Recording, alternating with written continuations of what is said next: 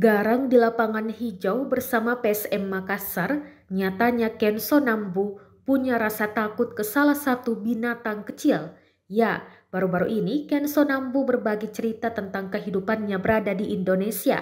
Perbedaan paling mencolok menurut Kenso saat berada di Indonesia dan Jepang yakni masalah kebersihan.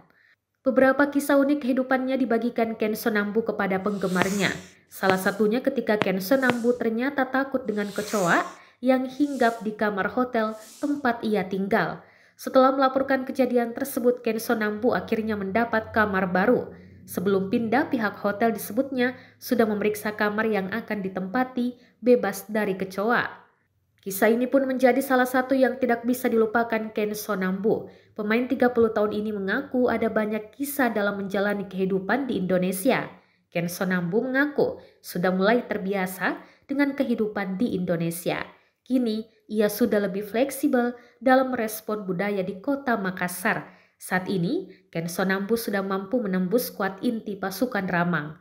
Dalam lima pertandingan ia selalu diturunkan sejak menit awal dan sudah mencetak tiga gol untuk PSM.